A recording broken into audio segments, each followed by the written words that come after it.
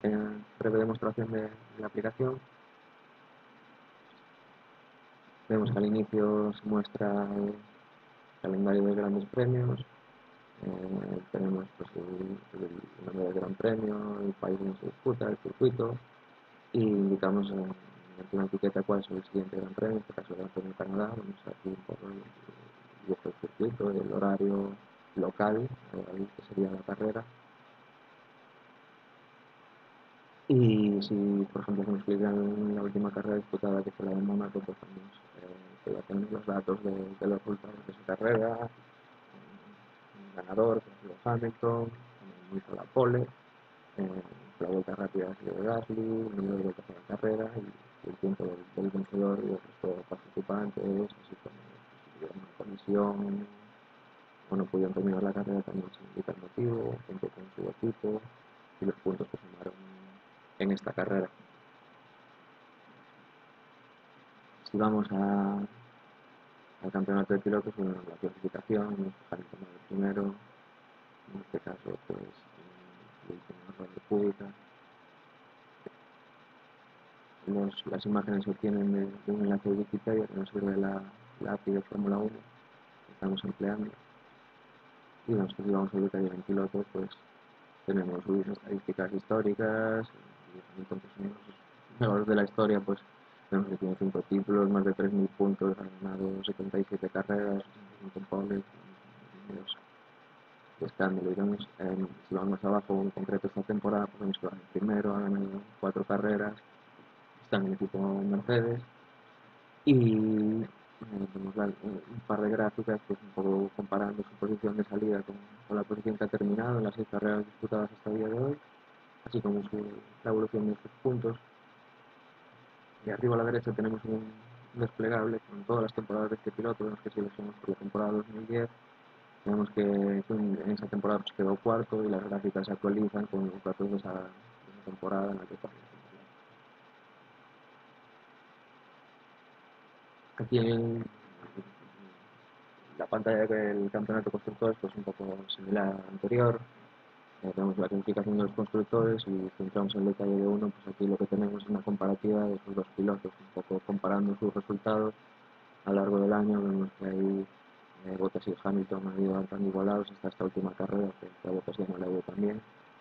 Y también tenemos los datos pues, de que la, o sea, Mercedes va de primero en la ronda 6, en 6 carreras, con 257 puntos ya y en la parte superior derecha vemos que tenemos un spin similar al que teníamos en la, en la pantalla de pilotos que ahora tenemos que hacer clic sobre él pues también tenemos todas las temporadas que estamos en la Fórmula 1 como equipo. Y si vamos por ejemplo a la 2010 tenemos que los pilotos son Nico Rosberg y Michael Schumacher y se actualizan las gráficas con los resultados de dicha temporada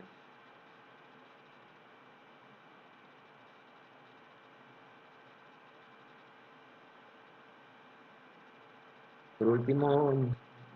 el punto de mejora que queríamos añadir al principio del proyecto, ese comparador de, estadísticas que, que, demandaba algún usuario en alguna de las otras aplicaciones similares, pues vemos que si seleccionamos aquí entre dos pilotos, en este caso dos de, los mejores de la historia, como son Fernando Alonso y Ayrton Senna, pues vemos que la aplicación hace una consulta y al poco nos carga una comparativa del gráfico de radar que nos permite un poco pues, eh, ver en varias disciplinas, bueno, varias valoraciones en, qué eran mejores uno o el otro, que consiguió más puntos y poles, aunque Senna consiguió más victorias y más poles, bastante más a lo largo de su carrera.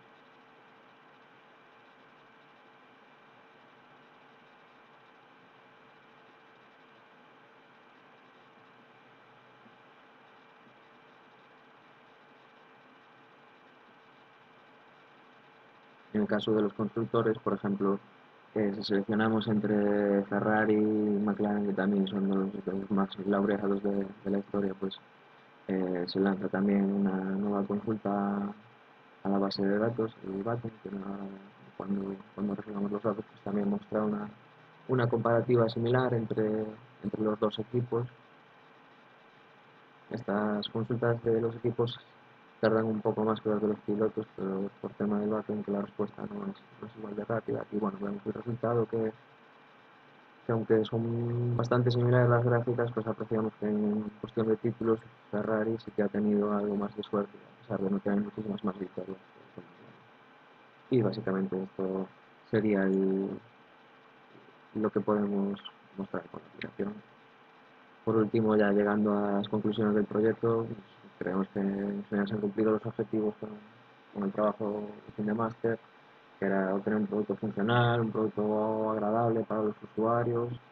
y, realizado con, las últimas tecnologías disponibles en el desarrollo de, aplicaciones Android.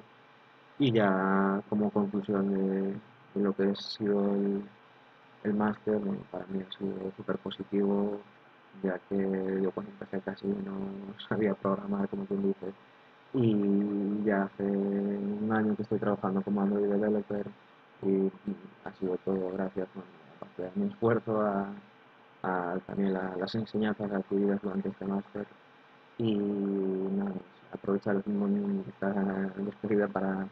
para agradecer a los profesores el, el trato prestado, que siempre ha sido muy, muy cercano y muy profesional y aprovechar pues para saludar al jurado y, espero que, que mi aplicación les guste.